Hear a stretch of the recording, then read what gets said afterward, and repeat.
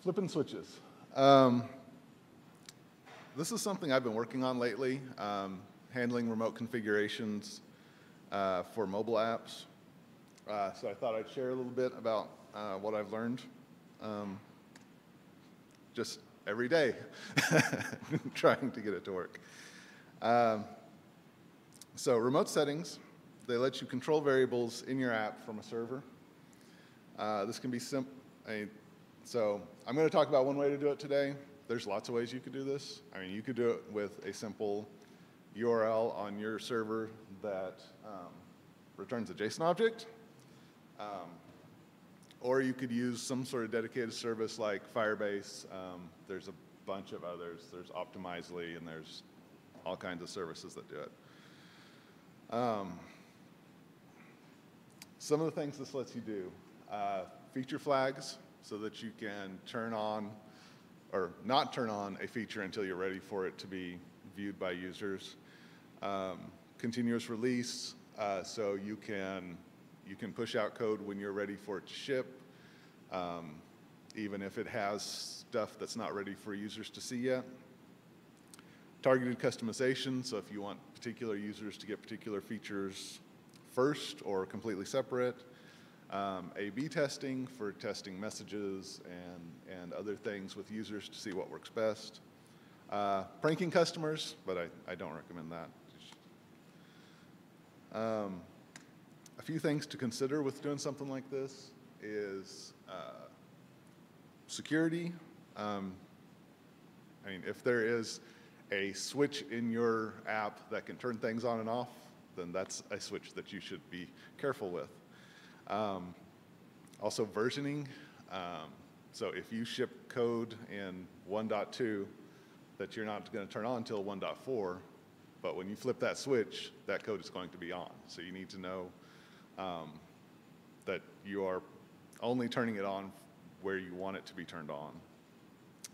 Um, and then the user experience. So if you are doing something like this where one day things are one way and the next day they're a different way, and then the next day they're a third way, that's, uh, that's the kind of thing you, you really got to know that that is what you want to do.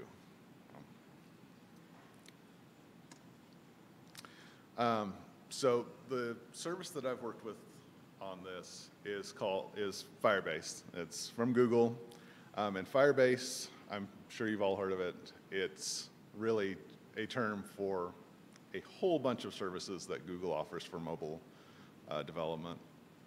Um, and you can, you know, you can use bits of it without using other bits of it.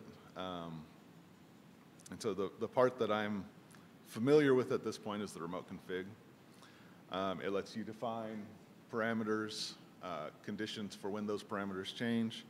It lets you target particular audiences so you can, um, it kind of, it really, it kind of ends up pulling you into their analytics stuff because um, you need to provide data on your customers on something so that you can say, okay, I want this group to get this, these values, I want this group to get these other values.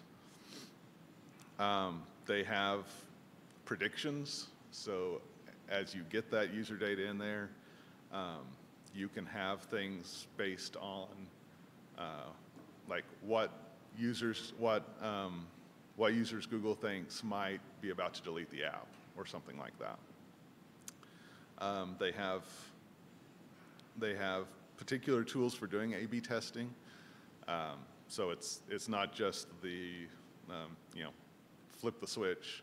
There's um, that helps. There's the um, uh, being able to experiment with. Okay, I've got these two ways of doing this and I want it to go to these particular users. I want it, I want it like randomly distributed so that I can see which one I get better return on. Um, and so you can set that, hey, this is the, this is the goal for this. And so you can get uh, reports back on if you're, if you're reaching those goals or which version reaches those goals better. Um, and it's free. it's free for um, remote config in particular. uh, And like there are, like you- there are paid plans if you need extra stuff, but in general, it's, it's pretty free. Um, So how do you set this up? So you start with um, setting up your parameters that you want in the app. So using their SDK, the app will ignore any settings it doesn't understand. And when you define a parameter, you give it a default value um, on the server and also in the client. Um, The values are strings, but they can be treated as numbers or booleans or whatever. Um, And this, this lets you set up just what you want to send to the app. And you can use this for, in lots of different ways. So you can use it as a flag to turn something off or on. You can use it for messaging, so that string could be a welcome message or something that you need to be able to change. Um, It could be a hex value for the color of a background, so you could have all of that in there that you could change on the fly. Um, Back to the pranking your customers thing. Um, So once you have your parameters, then you can set up conditions. And so the conditions are, um, let you change the value in certain situations. Uh, And it gives you lots of different ways to target. So you can target, say, a random 20% of users. Uh, Or you can target by app version, uh, which is something that we were just looking at this morning, that uh, if you get in there and start playing with this and you see, hey, I can't set it, I can't choose that version, you have to choose your app first. And then you set a version for that app. Um, But then you can do lots of other things like user location, um, like I was talking about with, with providing user data, you can set user attributes to target based on, um, the predictions, um, all of that stuff. Um, and then on the client side, you, um, you include the SDK, you configure your default values that you want on, on the client, and you set it up to fetch and cache the remote settings. And you can define how long you want to cache for, so you could have it, you know, for an hour or for, you know, seconds, just depends on, on how often you need it to, to check. Um, They also have a feature where you can do a push notification. Let's pause. Um,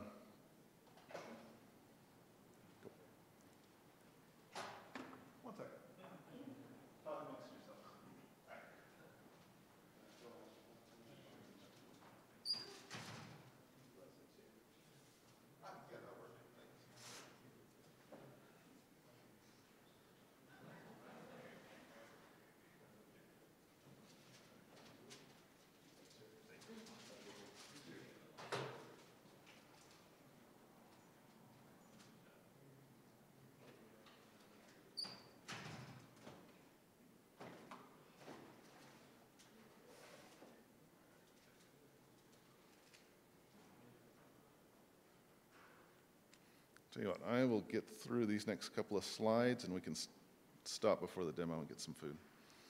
Um, So I was saying that you can fetch and cache the remote settings. The push thing, thank you.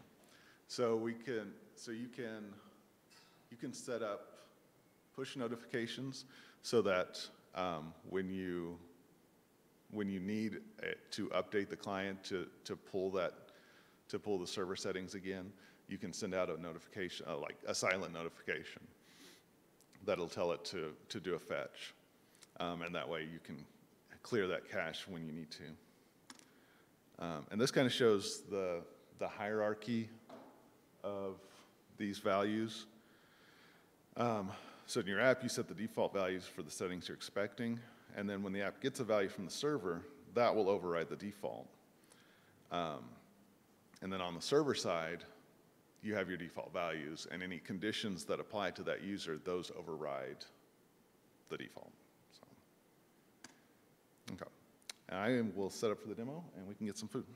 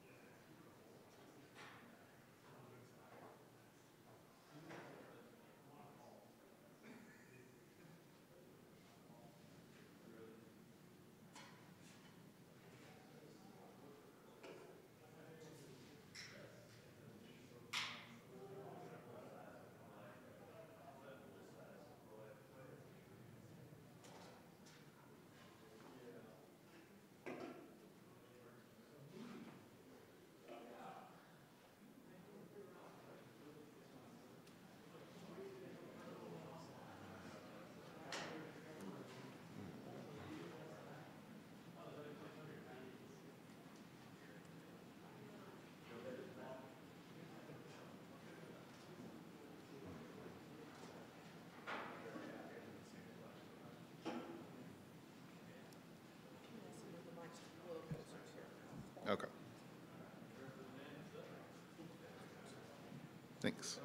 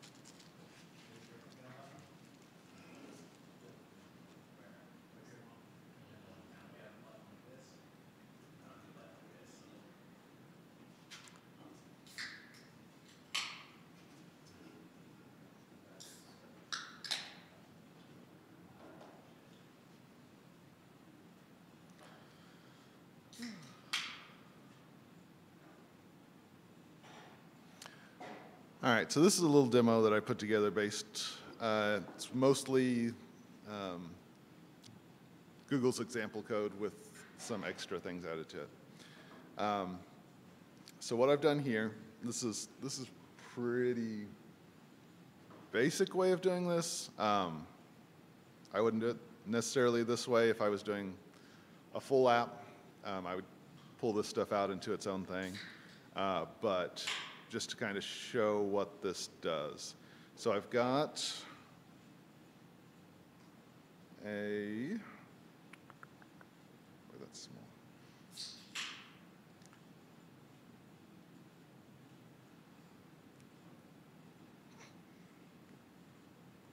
Nope. That's better. Um, so I've got this one screen with these different uh, controls on it. Um, and I'm using my uh,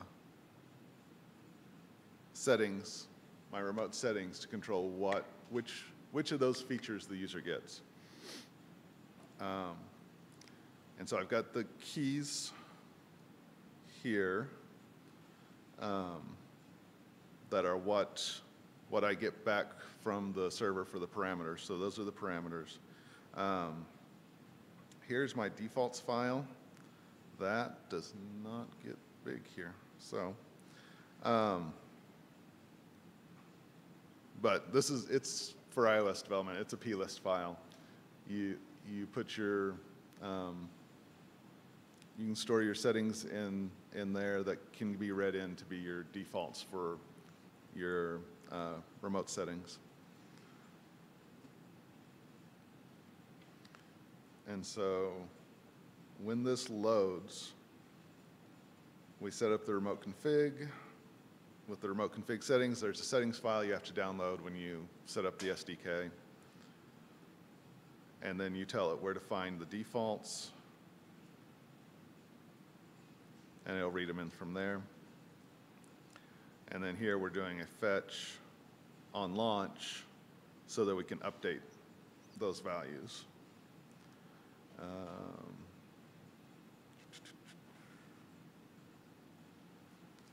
so when we do the fetch, um, we, we uh, cache the values, and then we update our view. And in updating our view, we just go through and we apply the values that we have in our remote config um, to, to show what we're showing on the screen. So I'll show you what it looks like right now. So this is our fidgeter. So we can just sit here and do this all day long. Um, and now we've added a new feature, probably with an in-app purchase. Um, and so we'll go into Firebase. And so this is our remote config. And you can see we are showing the slider, we're showing the segmented control, um, we've got a welcome message that we can use to put whatever message we want. So now we're going to add a parameter for that um, switch.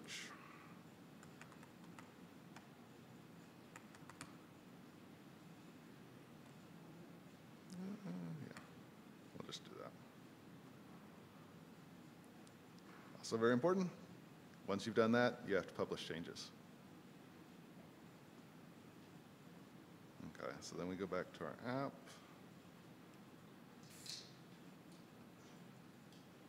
And now we get the switch. So, I mean, that's, that's basically how it works. Um, and, well, that wasn't even a, that wasn't even the push. That was just, that was just publishing the changes and then coming back over here and hitting, hitting the fetch is what told it to, to pull down the changes. Um, and that's basically it. Um, I'll show you on this. So you can do, this is where you would set up a condition. And so you could set up, um,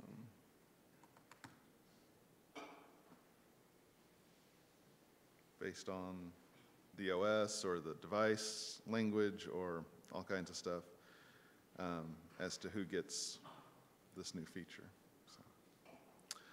So, um, and that's pretty much it. Are there any questions?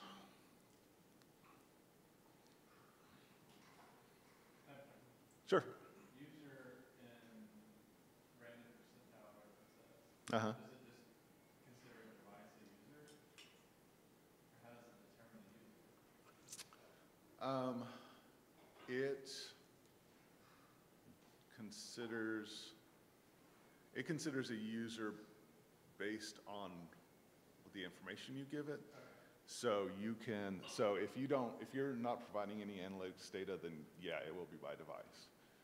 But if you provide, if you provide an identifier, this is, this, this is user X, and if you're doing that, so any device that has that user X is going to get the same values. So is user property part of Firebase? Mm-hmm. Yeah, it's in the analytics. Yeah, user properties. So you can define, you can define those, what properties you want to track there. And then in your app, then you have to set those whenever you know those properties. What sort of Firebase exit strategy would you recommend, like, if somebody was gonna pull this into an app, and then, like, it goes away and parse? Yeah, I mean, the main thing I would do and what, what we did uh, at Love's was, and we had a, we have a remote settings object um, that abstracts it away from the rest of the app. So most of the app is not dealing directly with it. It's just, it's just a place to store configuration data. Um, and so that, that would be the main thing. Um, I haven't looked at, like, I mean, it depends on how deep you get into it, right? Because like, if you start, if you are using this for like analytics and stuff, then exporting that data, yeah, to, to go someplace else is gonna be a pain.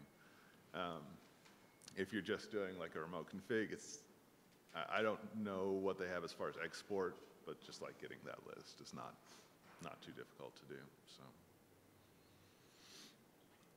so. Um, You know, and the nice thing is, yeah, if, if you like, if you like set that up right, then, I mean, you could turn off the Firebase stuff and it should like all work just based on like your plist file that you have in the app.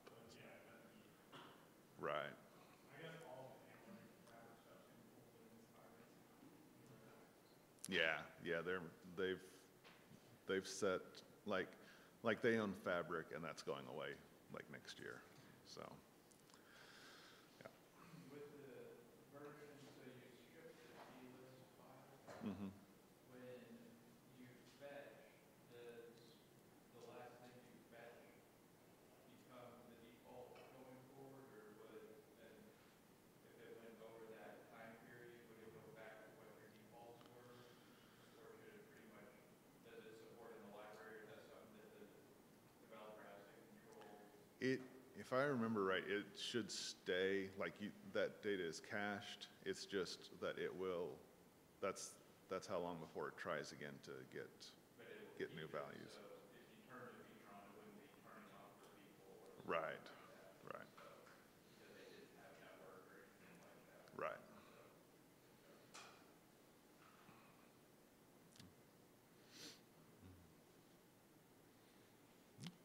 Anything else? All right. What about types? Like you had type in your key list, Mm-hmm. On the, yeah, objects or how, how much can you support the, the Ye- yeah, on the Firebase side, it's strictly strings, like you can't set a type at all.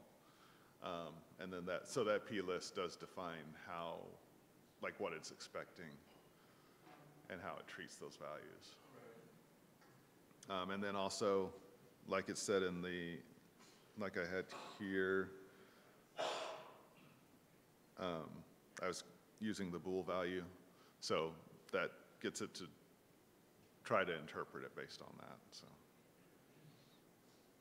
Are there any gotchas when doing that between Android and iOS, or do they pretty well work together? Uh, so far, it seems like it's worked about the same.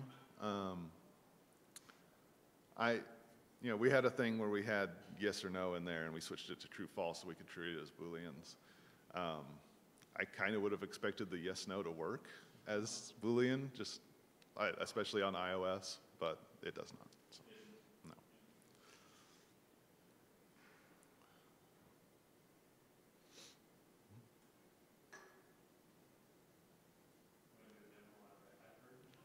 no.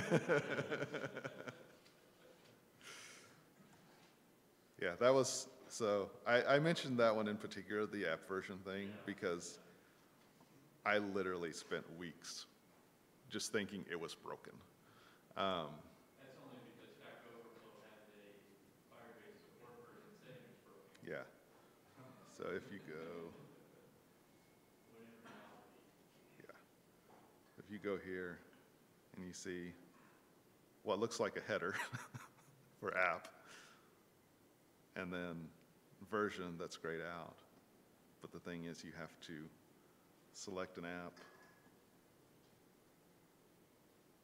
And, nope. Not, don't hit that button. Don't hit that button. I don't know what that was. So, select an app.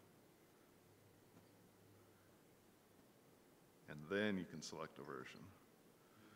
Um, and it has, like you can do matching exactly or regular expressions. You can also provide it a list.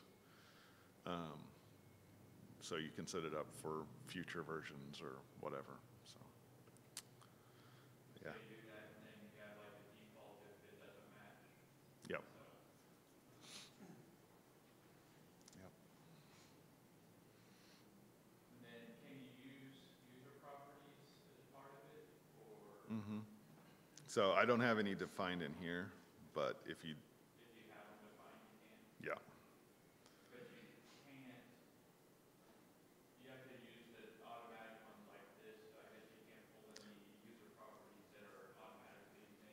right, like, yeah, it's basically device language and region are the things that are in there automatically, and I guess OS uh, type, so you can differentiate between Android and iOS. Um, I think that's pretty much it. Yeah. How did prediction work? Have you listened to that at all? Uh, just a little bit. I think once you are pulling in analytics data, then it starts providing predictions based on that. Um, I don't know if like there's particular things you have to check for, like, but That's what it would be if you started implementing. yeah.